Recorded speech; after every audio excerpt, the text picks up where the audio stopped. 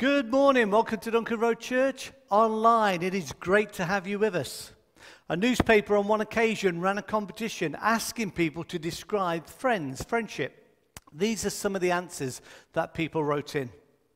One person wrote, One who multiplies joys, divides grief, and whose honesty is invaluable. Someone else wrote, One who understands our silence. Someone else wrote, A friend is a volume of sympathy bound in cloth. And one other person uh, penned these words A watch that beats true for all time and never runs down. The winning entry was this one A friend is one who comes in when the whole world has gone out. Well, that's a good answer. And today we're looking at friendship, or rather, Paul's prayer for his friends, as found in the book of Colossians and chapter 1. Colin Dyer is our guest speaker, as well as Colin uh, talking to the adults and the children. We've got some great hymns and songs of worship, so we're glad you can join with us, and we trust God will bless us all, each one.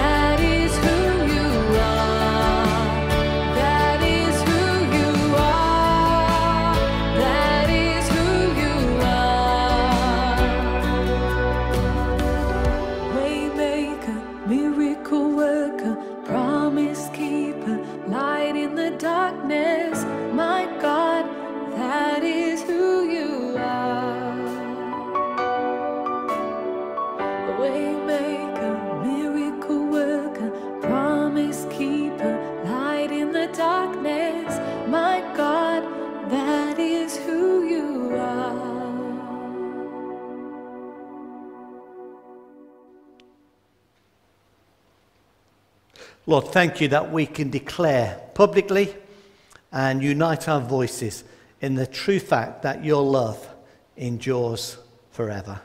Lord, our love is so transient. It's uh, strong one day and it's weak the next. Sometimes we're quite particular as to who are the recipients of our love. But thank you that your love is constant, your love is for all people. We know in that psalm that when your enemies uh, fought against your people, then they were punished. And, uh, but Lord, you punish them with a sadness in your heart, for you are a loving God, a Father of all creation, one who desires that none should perish. Your word makes that so clear, but you want all to come to a knowledge of you.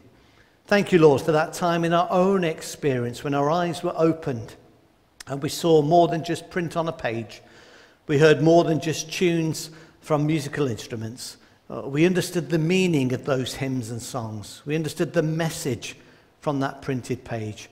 They brought us into contact with the living God, the one who has revealed himself through the word and in his son, Jesus Christ. Thank you, Lord, for that time in our own experience when our eyes were spiritually opened and our hearts were touched and we moved from darkness to light. Lord, thank you that we no longer just talk about a God of love. We've experienced that love in our own hearts. And your word says you have lavished your love upon us. And Lord, may we be ever grateful for such love. Uh, your word tells us that God so loved the world and Lord, thank you that you're a God of action, not just words. You proved your love in giving, in sending your one and only Son, so that none of us need perish, but all could come to eternal, to everlasting life. So, Lord, thank you for this tremendous truth, we pray. Thank you for the freedom we're still allowed in this country to meet together.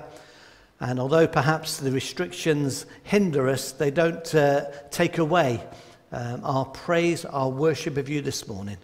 May we sense your presence with us, and may all that is said and done be pleasing and acceptable in your sight. For absent friends, we're aware of those who are having to self isolate. We ask that they might know your presence. We pray especially for those struggling with health. A number in the fellowship need our prayers. We pray, Lord, that you will strengthen them, that you might heal their bodies and bring them back to good, uh, a good position where they can uh, perhaps enjoy life in a, a more comfortable way than the struggles of the moment. So bless them and heal them, we pray, as we commit our loved ones to you. And we bring our thanksgiving in and through the name of Jesus Christ our Lord. Amen. Amen.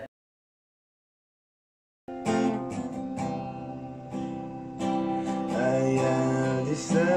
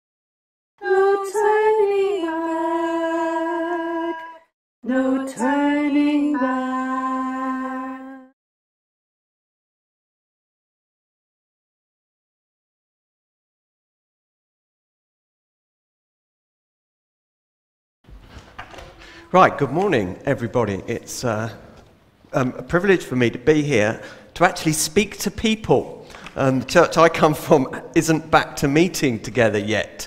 So uh, this is the first time I'm not preaching to a screen. And, uh, and you'll all look so much better you. with masks. So that's also a benefit. Um, I'm going to talk a little bit about um, hidden things. So if we could bring up the PowerPoint, that would be great. Um, hidden things, there are many things that we simply do not know about because they are hidden. Perhaps no one has told us about them, or maybe we've never looked carefully. Um, there are hidden things all over the place. Oh, I've gone backwards, haven't I? I should have gone forward there.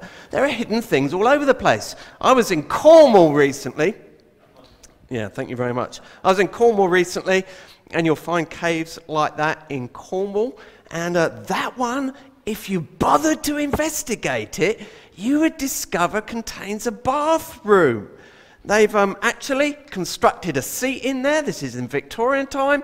There's even a skylight and a little pool for you to privately bathe in. But you'd never know it was there if you didn't go looking for it. There's all sorts of things that are hidden that we know nothing about. And some secrets are unknown, and but we need to know about them. And some secrets that people need to know will actually save lives. Wow. And they're significant things. But how are we to know secrets? Because some things really do need to be known. And how is that going to actually happen? How are they going to be made known? Well, if you're sitting there thinking, I wonder how secrets could be made known, well, it usually needs a messenger, or messengers for that matter. Messengers to be sent so that secrets that are unknown might be revealed to those who need to know them. But who's going to go and bring those messages, those secrets, and make them known to people like us? Well, we do need to know them because people will be saved by them, but messengers need to be sent. And the ones that I'm thinking of today are really weak messengers. They're not supers. They're not Incredibles, boys and girls. You probably know about the Incredibles, do you? From the telly, from Disney or Pixar. You're all looking blank. Well, you've been very polite this morning. They're not Incredibles, but they're vulnerable. Ones that can be injured, ones that can be killed. And they will bring the messages that make the secrets known. And as a consequence of that, it will make possible lives being saved. In fact, the message is actually part of them. And to make sure the message get through to those who need to hear this so that lives will be saved, it will require many messengers. Many messengers because there are many dangers. Now, there will be natural dangers.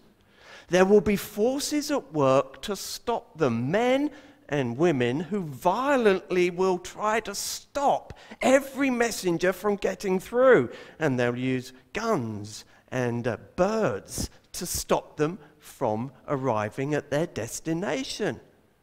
And even though some will be injured and some will be killed and some will just plain get lost and never arrive, still the messengers are sent. Now, the big question is, as we sit here this morning, who are those messengers, boys and girls? Have you any idea who a messenger might be? And there's lots of them, who has a message that's a part of them, and yet they're quite weak and could be easily killed or injured. Any ideas? Adults, have you any ideas?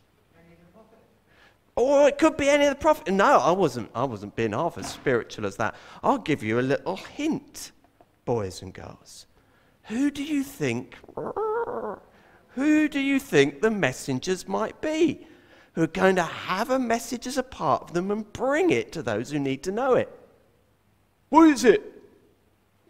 A pigeon, yes. And this pigeon is going to go from where the secrets are hidden all the way over to those who need to know them. We're thinking of COVID. You've just seen a bird flu there, as it were. But yes, the, these are pigeons. And I'm thinking way back to the Second World War, where in Belgium they hid pigeons and tied the message to their little legs and set them free, and then they had to fly all the way to England. When Germans were trying to shoot them, when they sent up birds of prey to try and snatch them out of the air, when storms caused them sometimes to lose their way or lose their strength, the messengers were continually sent. Pigeons are the messengers, and with bravery, skill, and hard work, the messengers did get through, and the secrets that were unknown are made known. Only one in ten, it's reckoned, of those messengers ever got through. It was really costly, but lives were saved by the ones that arrived. And if you're thinking, why are you spending all this time, Colin, speaking about pigeons? Well, it's because God has sent us messengers. He has sent us messages so that things that are hidden, mysteries that have been hidden for ages and for generations, might be revealed. Jesus had this to say to us How are you to escape being sentenced to hell? Therefore, I am sending you, Colin, this is where you come in. I am sending you prophets and wise men and scribes, fragile people. And Jesus said, Some of them you will kill, some of them you will flog and persecute from town to town. Today, those who bring the message of God to people who have not heard it are very often opposed. But the most important messenger was so much more than those pigeons. The messenger, we are told, became flesh and lived for a while amongst us. He took on such a vulnerable and fragile existence in order that he might reveal God in the flesh amongst us. And just as Jesus taught, so it happened to him. People flogged him, persecuted him, and eventually killed him. But we are told that in these last days he has spoken to us by his Son. And that means that for every one of us here who's come to know him through uh, the rebirth that God brings and through faith in who he is, that we actually are witnesses to who he is and have a message also to pass on. Why? As we thought before, so that lives will be saved. And we have a responsibility here, don't we? There's a few of us here, but what we hear today needs to be known by the thousands that live around us, who, if the message doesn't get through, will not be saved. Thank you. God's people aren't super They don't have nurses from their heads to their toes. They're not gladiators, that's easy to see. In fact, it's amazing. They are just like you and me. Sometimes scared, sometimes scared. Shaking and shivering. But let's realize we got God on our side, and He can do absolutely anything. Again, God's people, God's people aren't super brave superheroes. They don't have mercies from their head to their toes. They're not gladiators, that's easy to see. In fact, it's amazing. They are just like you and me.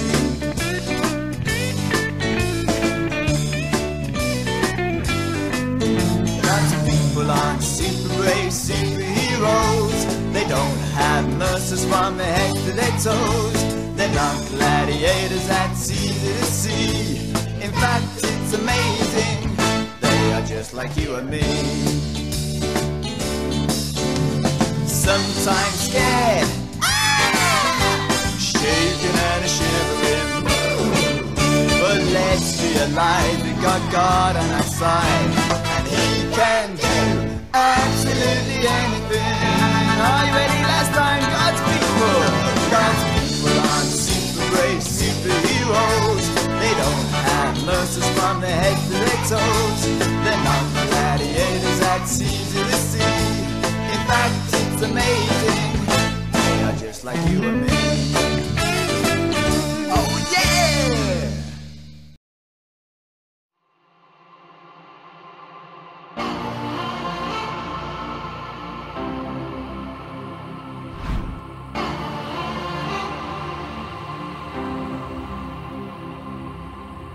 There are people all over the world living without a Bible of their own and desperate to read God's Word. And thanks to you, our fundraising heroes, in the last year we've printed nearly 1.3 million affordable Bibles in China alone.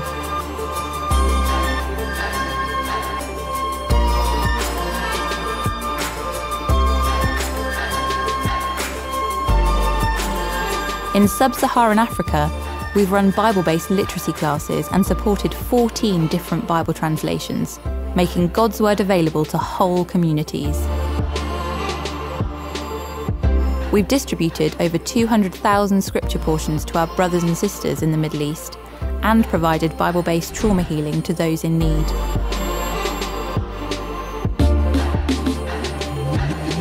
More locally, our work across England and Wales aims to increase Bible confidence among Christians, as well as changing the conversation about the Bible in wider society. Every penny you raise will help offer the Bible to the world. Together, we can share the good news. The youth edition of the Good News Bible, the Bible course, and our ever growing Open the Book project are all examples of how your fundraising efforts have had a real impact on our mission. Thank you. You are amazing. We're so excited for the next year and we can't wait to see how your support will impact Bible Society in 2020.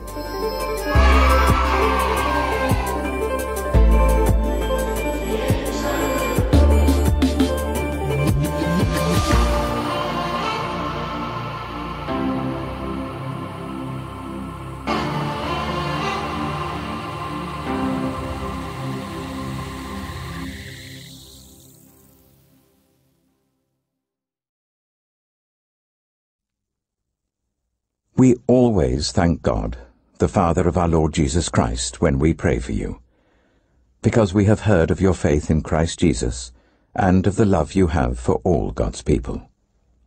The faith and love that spring from the hope stored up for you in heaven and about which you have already heard in the true message of the gospel that has come to you. In the same way, the gospel is bearing fruit and growing throughout the whole world, just as it has been doing among you since the day you heard it and truly understood God's grace. You learned it from Epaphras, our dear fellow servant who is a faithful minister of Christ on our behalf, and who also told us of your love in the Spirit. For this reason, since the day we heard about you, we have not stopped praying for you.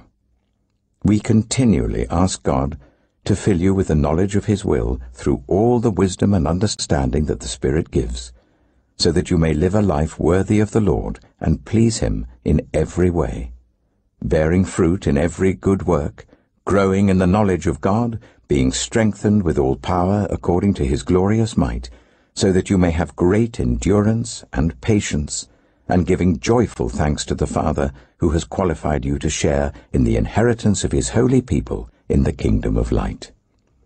For He has rescued us from the dominion of darkness and brought us into the kingdom of the Son He loves, in whom we have redemption, the forgiveness of sins.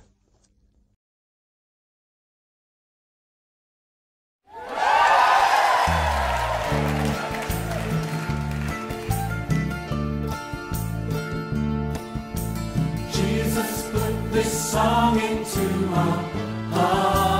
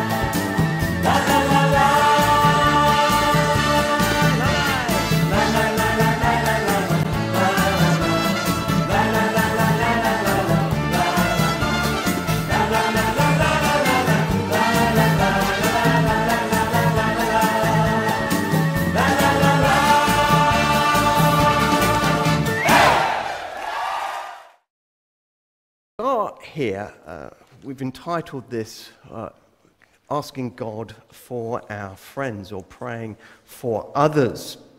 Let me just say a couple of things because we started reading from Colossians 1. Um, in it, he says, Grace and peace to you from God our Father. Now, that is a common greeting in Paul's letters. But bear in mind when he says grace and peace to you, what does that in fact mean? Well, I think it means actually that the rest of this letter is the way by which God conveys his rich generosity and conveys uh, by his Spirit and through these words a peace in the midst of all the ups and downs and situations of life. It is not just a sort of, oh, uh, how are you at the beginning of a letter. It is actually saying what this letter will convey and bring to the people that hear it and what it will bring to us. That's why we pay attention to these words, because through them, the grace of God and the peace of God come. Just another thing to notice is we often call this Paul's letters to the Colossians, But if you'll notice right at the beginning, it says Paul and Timothy, and they will speak as a we through this letter. So I'm going to take that seriously that this is actually written by Paul and Timothy to the people of Colossae, and we'll come to where that is in a minute. But let me just start off by talking about growth. Growth is a, a significant and important thing, isn't it? Those of you over this current period have perhaps had more time to try and grow things than you normally would have done, taken more interest in that. And when you've planted the seeds, you have wanted to see some fruit or flowers from your efforts. And growth is very much a facet of what is being talked about in the first part of this uh, letter. And, and growth is something Jesus spoke to us about. He said, The kingdom of God is like a man who scatters seed on the ground, and night and day, whether he sleeps or gets up, the seed sprouts and grows, though he doesn't know how. And by itself, the soil produces grain, first the stalk, then the head, and then the full kernel in the head. And as soon as the grain is ripe, he puts the sickle to it because the harvest has come. And there he is talking about the impact, the effect of what the message of God will have in the world. And he describes it like a seed. Now, seeds are remarkable things, aren't they? I've put up three of the ones that I particularly like. You've got the helicopter whirring sycamore um, seeds. You've got the almost like a pepper pot poppy seeds, where in the wind blows, it shakes the seeds out those little holes. And you've got the good old dandelion that you children should know because you pick them up, don't you, and blow them around. And that's really good fun, isn't it? Yeah, some of you are smiling. It is good fun. Seeds are remarkable things. You can put these little brown specks into the ground, and a few weeks later, you can be pulling up something that's completely different color and shape. And once you've washed it, you could either eat it as it is or cook it and serve it up with your roast dinner if you have such a thing. Isn't that incredible? All from that tiny speck that doesn't look much different to some dirt. They're remarkable things. Even conkers you can find grow because they're seeds, just as you see in the picture there. And Jesus says that there's a great mystery in the growth of the seed. I doubt if most of you here know how a seed germinates and grows and produces the wonderful things that it does from that tiny little container of information, and yet it does. And whether we get up or go to bed, the seeds grow. And the seed of God's word, the message, the mystery that has been made known, has sprouted in Colossae. And there's several words in there that bear witness to that about it bearing fruit and increasing. It has borne fruit. And this has happened as a consequence of someone sowing seed. And it's a bit of a mystery and a miracle what has happened in Colossae as it, it happens anywhere in the world. We find from this letter that the person who sowed the seed in Colossae is down there in verse 7. You learned it, he said, from Epaphras, our beloved fellow servant. He's a faithful minister of Christ on your behalf. And in fact, it's, it's he who has spoken to Paul and Timothy and told them about what has gone on there. Epaphras scattered the seed. Boys and girls, if you've ever scattered seed, and adults, you'll know that some of it's lost, and some of it is snared by, by weeds, and some of it perhaps the birds nick, but eventually there's a harvest, and it's been like that in Colossae. Epaphras has scattered the seed. He scattered it in a place called Colossae. It's about 100 miles east of Ephesus. In fact, you'll find some similarity between the two letters. And Paul has spoken in the past about how this sort of growth goes, uh, takes place. He describes this in the book of Corinthians. He says, I planted the seed, Apollos watered it, but God has been making it grow. So neither the one who plants nor the one who waters is anything, but only God who makes things grow. Just like the miracle of how a carrot seed produces a carrot, so the message of what God is doing in Jesus Christ makes brings life and makes things grow. It's God who has been making it grow in that place. Paul the planter, Apollos watered it, but it's God who's made it grow. And therefore, there's strong implication in this passage and from what we're listening to there that the main thing that is required for the gospel, as it were, to take root in people's lives is for God to be at work in mighty power to bring it about. So, therefore, we must rely on God to make things grow. I don't know if you pray over your plants.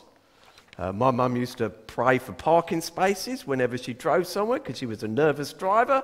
I don't know if you've prayed over your plants, but you most definitely need to pray for the gospel to bear fruit because we depend on God to make it happen. I would be clear here we, it does not depend upon prayer. Prayer by itself is useless unless God answers it. We depend upon God and therefore we go to the source of life to ask Him that the gospel might grow in the lives of people. And Paul and Timothy rely on God by praying for growth. That's my first point here, or part of the first point. Because what, have, what he's already done in their lives um, has produced fruit already. Verse 4 your faith in Christ Jesus, the love that you have for all the saints. These things are already things that are happening in this town. And now, because they're looking for God to act, they're asking Him to cause that to grow. And from the first day that they heard about what was going on in Colossae, right up until they got news from Epaphras, they are clear they have not stopped um, praying. Verse 4 Since we heard of your faith and of your love, um, uh, they have been praying. And they continue to talk about that in verse 9. And so, from the day we heard, we have not ceased to pray for you. Now, where did this come from? Some of you might be sitting there and flipping it. You know, that continual, persistent praying, that's not something that I have. I mean, they must have had some sort of inner discipline. Well, perhaps they did. Does it come from a love for these people? Well, Paul had never actually been to Colossae, never actually went there as far as we know. So these are strangers. He's certainly not met them. Uh, he may have a love for them, but it's not a love born out of first hand contact with them. And so, this type of praying is not so much about an inner discipline or even necessarily from knowing them and responding to who they are. It's not about them placing their burdens on God's heart, but God placing his burdens on their hearts. That's why Timothy and Paul pray and continue to pray and persist in prayer. And the terms of asking in here suggest an urgent asking, almost a demanding, because God is the source of the growth in the life of the believers, the Christians in Colossae, as it is the source of life for us. Secondly, uh, they ask God for more, um, which, as soon as I say it, some of your minds will have gone to uh, Oliver Twist. Please, sir, can I have more? Um, uh, this illustration may not fit completely with this story, but having tasted some of what he'd been given already, he wanted more of what he'd been given already. And the people in Colossae have already tasted something of the goodness of the Lord, and there's fruit of that, and spiritual life as a consequence of that. And now Timothy and Paul are asking for more. There is a place for greediness in the Christian life. It's a desire for more of what God might give. And so they ask God for that. This praying is not about maintaining the status quo. It's about them growing up. It's about them being filled with the knowledge of the will of God. It's about them um, being filled with understanding. Verse 9. This, therefore, is about change and development shaped by the mercies of God. They ask God to work in people they've never known and who they've never met. Now, isn't that remarkable? Because most of our prayers, probably, and I'm making an assumption because I don't know you, are often for our family, people we know, people that are close to us. And we find it really difficult, or sometimes we just forget everybody else that we don't know or bump into in, in life. We don't often include them in our requests to God. I suggest that praying for those we don't know, as Paul and Timothy are doing, requires a certain self denial. It requires considering others more important than ourselves, which is actually a quality demonstrated by God in the giving of his Son. God didn't, in the three persons that he is, remain where he was in heaven but what he did was to send um, the Son into this world to a people who did not know him, to a people who were distant to him, and in fact, enemies in their hearts. He came for them and for us so that he could bring about life in us, spiritual life, that would change the present and the future for everyone who turned to Christ and followed him. They ask God to work in people they've never known, and that means that you and I can ask God for people that we've never known or seen or met. And I think that's encouraging. And you may have prayed for refugees in Syria. And you'd have warrant to pray for refugees in Syria because that's what Paul and Timothy are doing. You might pray for a Christian teacher out in Indonesia that you happen to know, or a teacher somewhere else in the world who is active amongst school kids, or you might pray for an organization. And even though you may not personally have been involved with any of them, you have a Father in heaven who is able over space and time to intervene and to produce growth in the far flung corners of the earth. So pray for them, as Paul is doing here with some personal knowledge from Epaphras. We can pray for those who are not us and not me. And if God lays a burden on our hearts for a specific people or a person or an organization or a situation, that burden will cause us to pray. Now, I have a friend, and I don't very often see him, but he prayed consistently for Michael Jackson. Some of you might think, why would you pray for Michael Jackson. Didn't he sing well enough as it was and dance? He wasn't praying for that. But uh, he prayed consistently for him. He never met the guy, but he prayed. Well, I don't know if his prayer was answered. Find out one day. We don't know what happened in the last moments of that man, but he prayed for him. Some people I know, from the little correspondence I have for them, give me a sense that they pray for me consistently. It surprises me. And when I do meet them, which is not very often, I have an even greater awareness that I have been on their hearts. That could only have come from God because I'm not, you know, the most notable of person that you'd want to pray for, but it, happens. And, and there will be people who've been praying for you. And I ask this question how much in my life and in your lives has been remarkably affected and changed because God has been answering the prayers of many that maybe you don't even know about? Who maybe met you once and you lodged in their mind and they've continued to pray for you and your growth and your development, maybe your coming to faith in Jesus, has been as the Father has answered the requests of those people.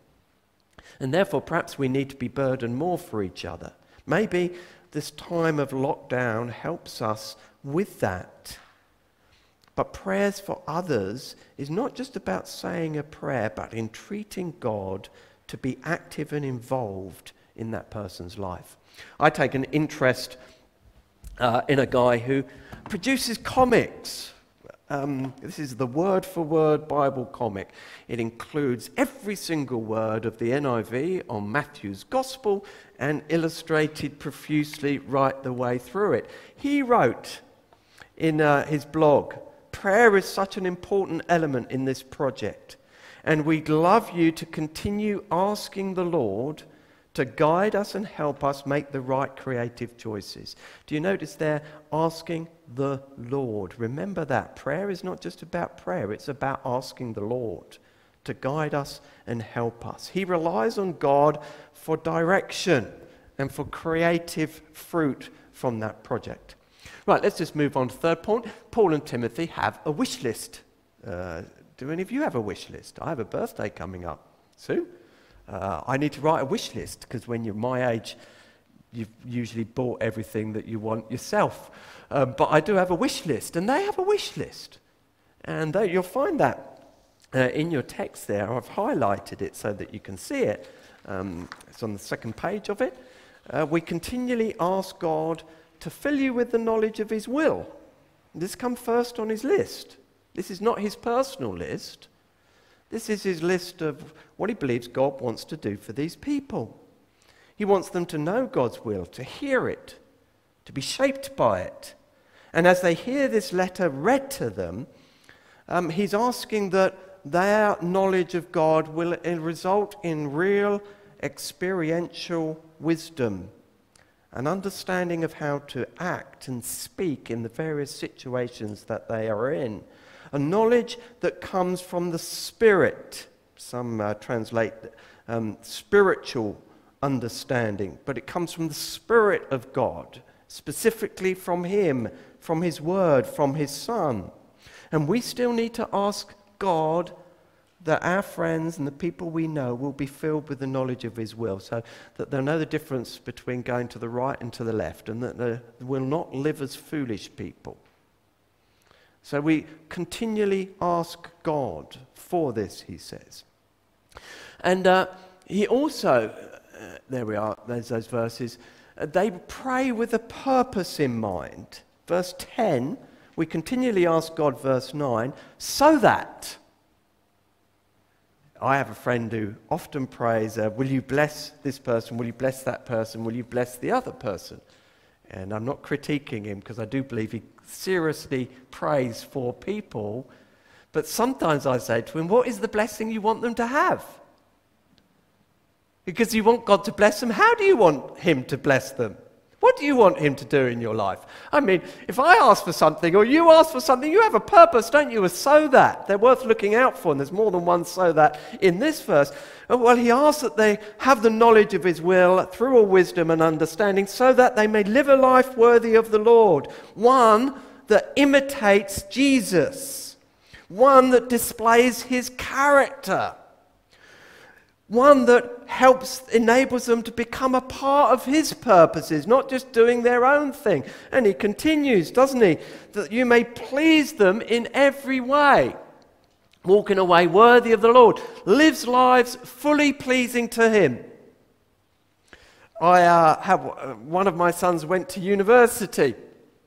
Um, I don't like university, to be honest, but uh, he didn't live a life fully pleasing to him, and uh, he would accept that. His testimony proclaimed that very, very clearly. And uh, I'm not sure that I asked God on his behalf specifically for that. And you could flesh that out, couldn't you? That he would live a life fully pleasing by not getting caught up with all the girls, not getting caught up with the parties and the nightlife and the drinking um, not that drinking in itself is wrong, but what it leads to. You can flesh that out. Bear fruit in every good work, increase in the knowledge of God. May the three years, I'm just using this as an illustration of my son. He hopefully won't see this uh, recording. Um, but in, over this period, may it be a time of real spiritual growth that he would not just simply know who God is, but know what it means to live for God in that situation. And sometimes we need to write these things down be a little bit detailed about what we're looking for. Um, these are things that we're not dreaming up, but we're garnering from Paul, and they, uh, they come from God Himself, what He wants to do in our lives. Um, he wants us to be more patient, to have greater kindness, to have a special thoughtfulness. And, and uh, we can pray for those things. They pray for these things. Bearing fruit in every good work. That's another thing he prays for. Growing in the knowledge of God. Being strengthened with all power. Verse 11. According to his glorious might. This is very similar to Ephesians. The power that God is at work in his children is the same power that raised Jesus Christ from the dead. We're told that in Ephesians chapter 1. And so we, he is praying that these people are strengthened with the resurrection power of God that brings life out of uh, death, that brings light out of darkness. Because these people have been delivered, the last verses tell us, or transferred from the kingdom of darkness and brought into the inheritance of the saints in light. And so he prays for this. Now, there's perhaps quite a lot to think about in all of those. Um, but it is fleshed out later on in the book. The knowledge of God's will involves getting rid of certain things. Now, you're very fortunate today that I chose not to wear these shirts and take them off publicly in front of you. Um, if you want to watch a video of me doing that, well, I don't know why, but you can find it on our website. But he goes on to say, you know, when it comes to knowing God, it's not just about being saved for heaven, it is about being rescued now from sin in increasing measure. And so he then begins to spell that out. Get rid of sexual immorality, impurity, lust. Take it off. That's not the clothing for you to wear out in public or in private for that matter. To get rid of anger, rage, malice, is that your problem? Well, he is praying that they be strengthened with all power according to his glorious might. So don't say, well, that's just how I am. Because if the Spirit of God is in you, if you have come to faith in Christ, if I have come to faith in Christ, then these things uh, we have been given the power to get rid of and to take them off slander, filthy language, lying. I love the fact that what we could think the knowledge of God's will is just something uh, academic or mental or in the mind to see that it's fleshed out in ordinary everyday life. The two are connected. It is not um, you come become a, a Christian and then later on you accept Him as Lord. He is Lord and Savior, and that is to be seen in the way we conduct ourselves today to day. And then He says, put on humility. I've never read any. Have you ever seen a job advert asking for someone, we want someone clothed in humility? Or words to that effect. Or we would look, we're looking for a gentle co worker to join our team. But these are things that are essential for us as believers compassion and kindness. And over all these virtues, he says in uh, chapter 3, uh, put on love. That could be a belt that holds it all together, it could be a shirt, as I've put there, that goes over them all.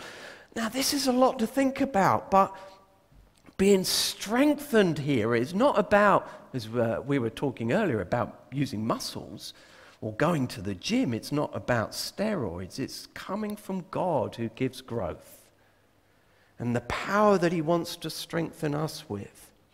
And this trust that sometimes when we're praying for someone we love or someone we don't know, and we, we're not seeing the results of what we're asking for, trust persists in continuing to ask the Father for that person, knowing that actually we can't change another person, but with the Father Himself can change anyone that He sets His love upon.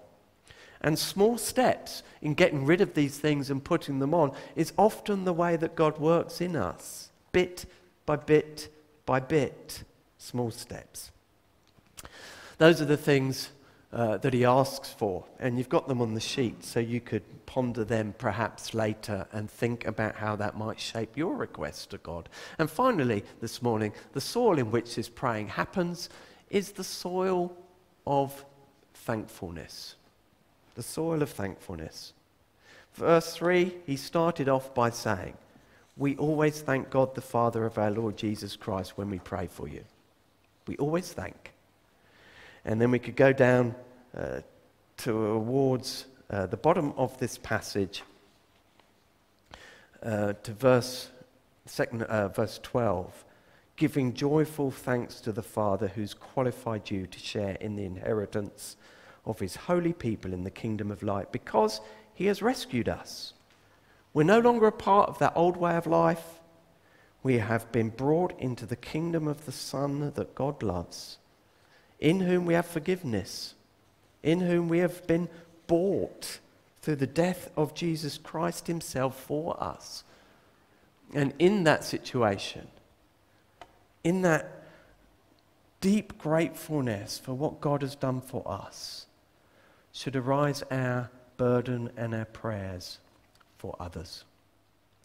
Dear Lord, our God and Father, help us not only now but in this week to meditate on what we would love to see you doing in the lives not only of our family and friends and close associates, but what we'd love you to do in the lives of people we know about but actually don't know personally. And Lord, we thank you for the deep confidence that you gave Paul and Timothy to entreat you, to keep asking you, almost to demand from you that you'd work in these new believers and cause them to grow and know you better and bear fruit, and that their lives would change by putting off the old ways and by putting on the, the, the qualities that are a fruit of your Spirit. And Lord, we ask, help us to pray for each other. Help us to ask for patience when we're frustrated with the current situation. Help us to pray for gentleness when we deal with others who are struggling at this time. And we ask too that you'd give us each a sense of our own inadequacy, as it were, and our need to mature and grow ourselves in ways that please you and imitate your Son. And Lord, we thank you that we have been able to meet today. Encourage us with your words, but may they be more than words.